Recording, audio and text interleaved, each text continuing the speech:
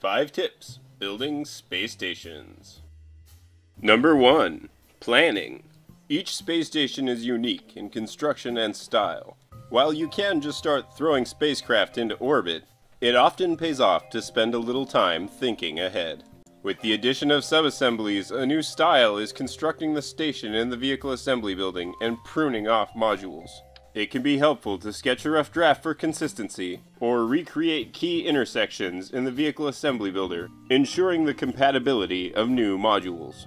Number 2. Station Core. Every station has a first piece. As everything grows from the core, be sure to take care including enough docking ports, and a probe brain or pod to control from and name your station.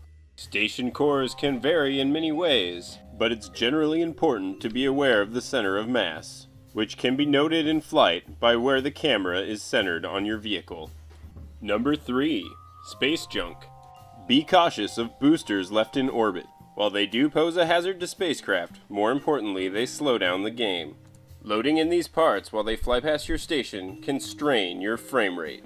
You can find and delete your boosters in the tracking station, or you can include probe brains and fuel for deorbiting your delivery vehicles. Number 4. Delivery.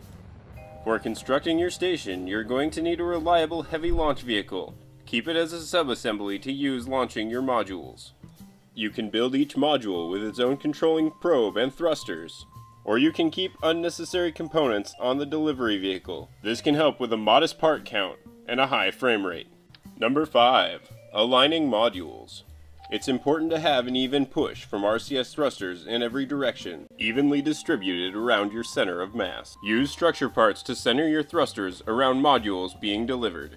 Each module will need to rendezvous with the space station and then dock. Check the description for help with rendezvous and docking. While installing modules, use Q and E to rotate, and don't hesitate to undock, rotate and redock, or move a module after an initial docking. Thanks for watching. Join me next time for 5 tips with combined spacecraft.